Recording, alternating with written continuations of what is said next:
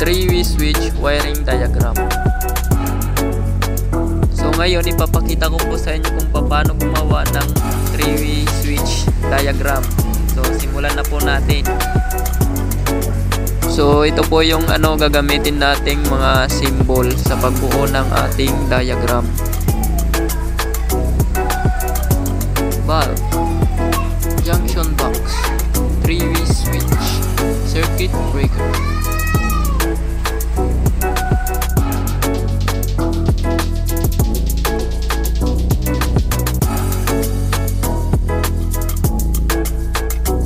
So una, ikakabit ko muna yung neutral line or negative line sa ating light bulb.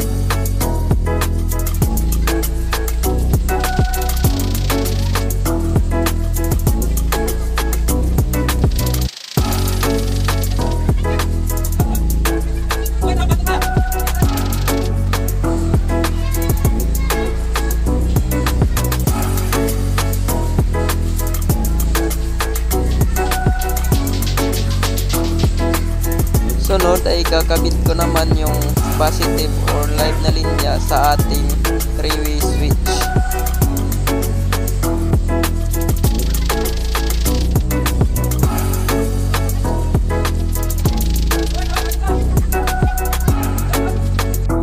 So guys, ito yung symbol ng ating three-way switch.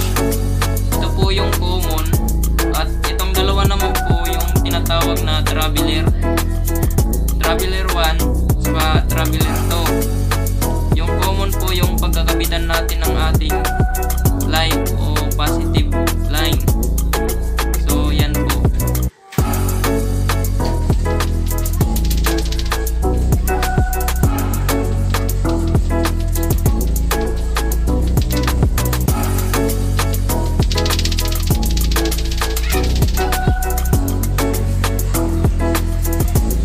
At dito naman sa kabilang switch natin ay eh, direct natin yung common niya sa ating bulb.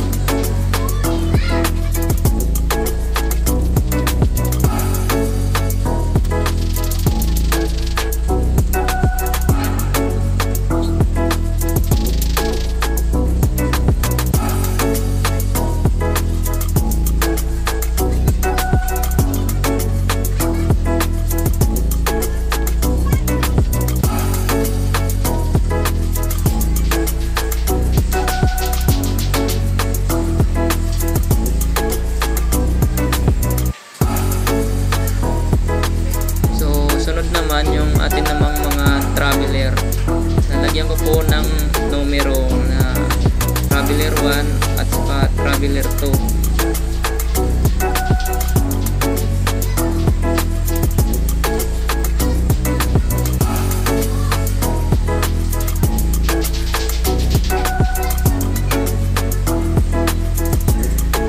Ngayon, ipagdudugtong na po natin yung dalawang traveler 1.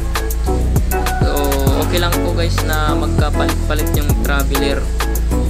Pwede nyo pong idugtong yung traveler 1 sa traveler 2. Gagana pa rin po yun.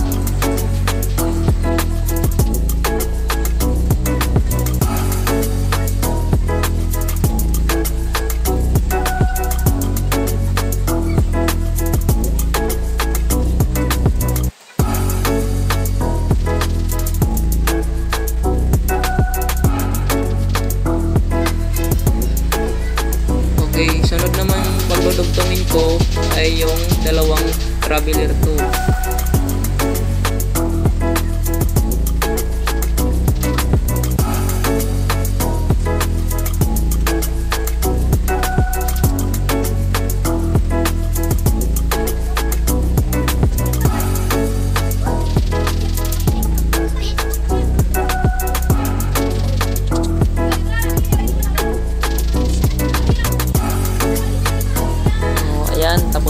Yung ating three-way switch diagram.